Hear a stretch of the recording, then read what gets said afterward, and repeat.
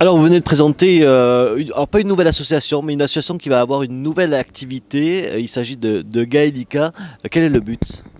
Alors le but de l'association, c'est de promouvoir la culture et la musique celte.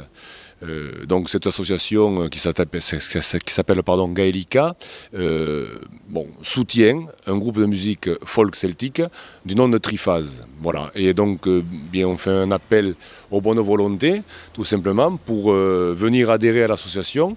Tous les amoureux de cette culture celte de tous horizons, hein, parce que bon, le peuple celte, c'est la Galice, c'est la Bretagne, c'est l'Écosse, c'est l'Irlande, les Cornouaillais, tout le monde est le bienvenu dans l'association.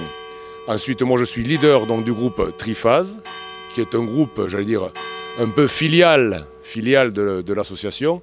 Euh, voilà, nous on se produit euh, déjà dans plusieurs endroits, on se produit dans, dans, des salles de spectacle, on se produit, on fait des concerts, euh, on fait de la musique donc galicienne, celte, de la musique bretonne, irlandaise.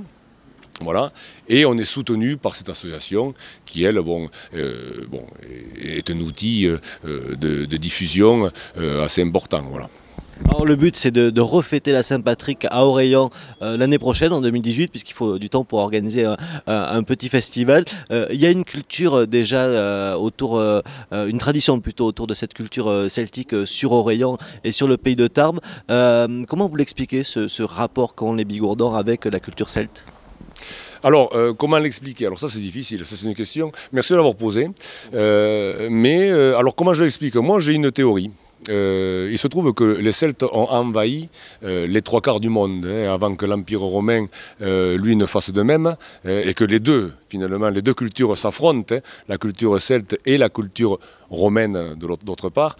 il faut savoir quand même que Tarbes, avant que, que, nous devenions, entre guillemets, des Romains, était celte.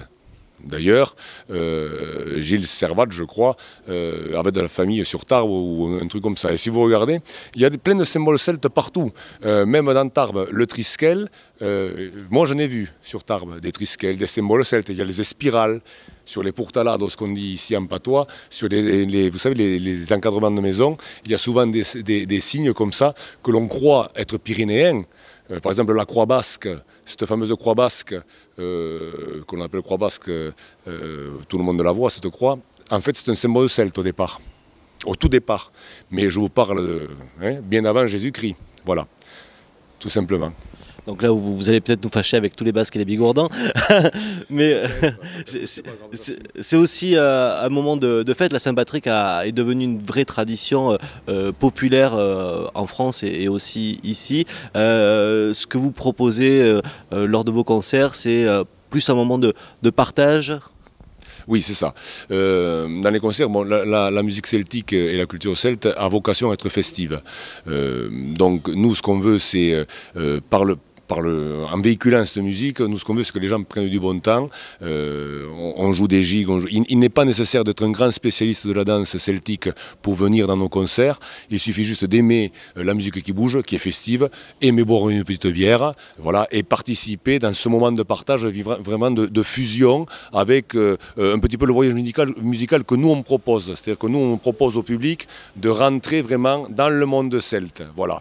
Donc après, bien sûr, il y a les contes, il y a tout un tas de choses euh, que l'on peut rattacher à tout ça. Mais je veux dire, nous, dans nos concerts, on raconte des histoires qui sont des histoires vraies euh, et on essaie de faire passer euh, donc tout ce qui est convivial dans la musique celtique. Les Celtes sont des gens qui sont ouverts, ce sont des peuples de marins, donc des peuples de mer, ils sont ouverts vers l'extérieur, toujours vers l'extérieur. Donc, ils sont pour la mixité et pour le partage au sens large voilà, du terme.